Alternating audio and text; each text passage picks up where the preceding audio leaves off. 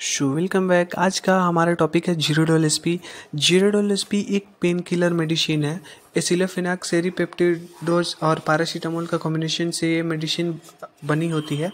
अब Zerodol S P के बारे में जानते हैं। जीरोडोल एस पी टैबलेट एक कॉम्बिनेशन वाली मेडिसिन है जिसका यूज़ मसल्स पेन जोड़ों में दर्द और ऑपरेशन के बाद दर्द जैसी विभिन्न स्थितियों में दर्द और सूजन को दूर करने के लिए इसका इला, इसका यूज़ किया जाता है। इस प्रकार यह रूमेटाइड अर्थराइटिस और एरिस्टो अर्थराइटिस जैसी समस्याओं में दर्द और सूजन को प्रभावी ढंग से कम करता है। इसके यूजेस की बेसिकली बात करते हैं विस्तार से।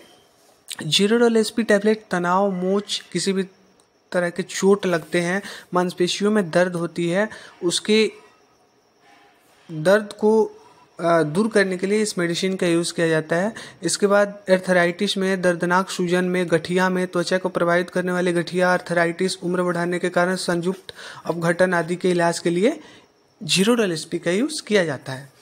अब सबसे इंपॉर्टेंट बात आती है कि इसकी डोजेस क्या लेनी है। तो ज़ीरो डल एस टैबलेट की खुराक आपका जो उम्र है, वज़न है, चिकित्सक जो आपको बता रहे हैं कि आपके अनुसार खाना है। इसके बाद लक्षण जो है आपके, लक्षण के अनुसार व्यस्क को हर छः घंटे में ये मेडिसिन ले सकते हैं। आपका जो प्रिस्क्राइब किया जाता है, डॉक्टर जो प्रिस्क्राइब करता है, इसकी साइड इफ़ेक्ट भी होती है, हर चीज़ की साइड इफ़ेक्ट होती है।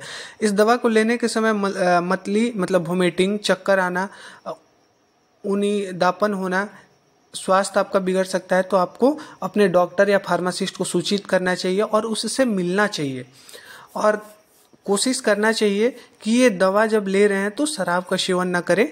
इससे चक्कर आना, भ्रम जैसा साइड इफ़ेक्ट आपको देखने को मिल सकता है। अब कुछ बेसिक क्वेश्चन आते हैं कि क्या जीरोडल एसपी टैबलेट को लंबे समय तक लेना सुरक्षित रहेगा? तो जीरोडल एसपी टैबलेट को लंबे समय तक लेना सुरक्षित रहता है।